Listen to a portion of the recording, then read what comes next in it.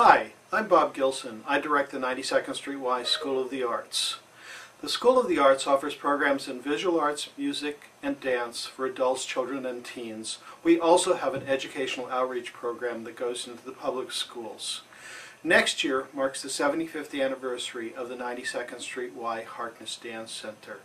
We are very fortunate to have had a documentary produced by Public Television Channel 13 in New York um, that documents the history of the Harkness Dance Center. We have some highlights for you here on our website. The full program will be aired on Channel 13 on March 8th at 12 noon.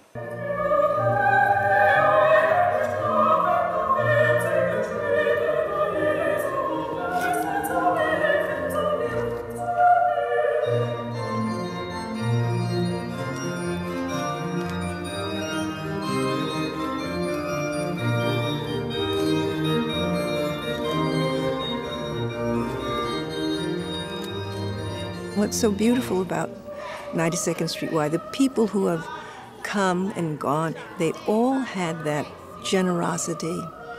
Walking in the lobby, you have the feeling that there's life here. It's very interesting that if I mention the 92nd Street Y in any context, people say, that's where it started. That's a fabulous place. What's been amazing about being here as a dance maker is that it has allowed myself and this terrific group of dancers to have a home. And coming here every day and having a, a support system, having a place to work, having a morning to breathe in a space alone as a creator, uh, and to be able to see a dance before dancers walk into the studio has been a great gift. And the work that I'm making um, is spilling out as a result of it.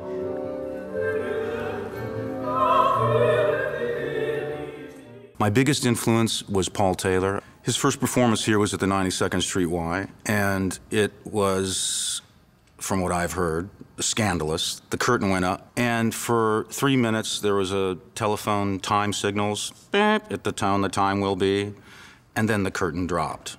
And then the next day there was the infamous uh, review from Louis Horst, which was Paul Taylor Dance Company, and a blank page and his name.